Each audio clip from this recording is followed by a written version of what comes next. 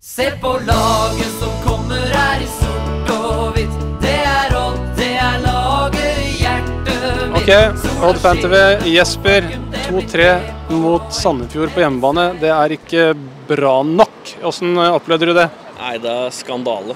Ja, jeg vet ikke hva jeg skal si. Jeg, må, jeg lurer på hvorfor han keeperen har klippekort, i hvert fall. Ja, du mener at vi, altså Rossbakk slipper inn et par billige da, har gjort det tidligere. Du mener at det, man må se på Valstedt som førstevalg? Ja, i hvert fall vurdere det. Han er 13 baklengs på fire kamper, vel. Og ja, jeg mener vi har gitt, solgt de to beste keeperne de siste åra nå, så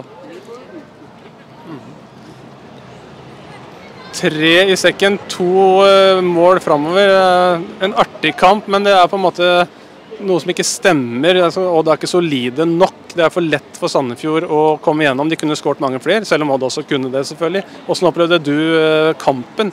Nei, jeg syns Sandefjord hadde full kontroll når de får tidlig skåring. Og jeg synes, ja, Odd er altfor dårlig uten Bakenga på banen.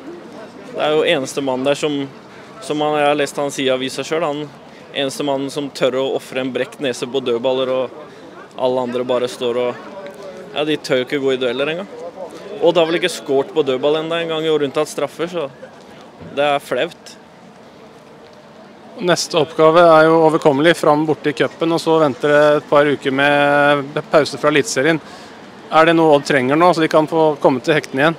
Ja, I hvert fall må de få Bakenga klar, eneste mann som kan skåre nesten. og Skape angrep alene og løpe i bakrom. og Så må de nødt til å få på plass noen nye spillere. Det er for dårlig i forsvar og Ja.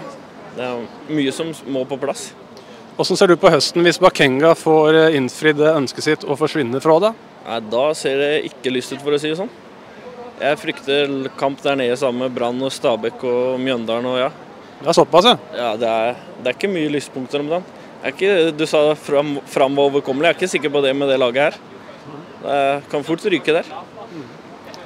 Jepp. Takk skal du ha, hyggelig.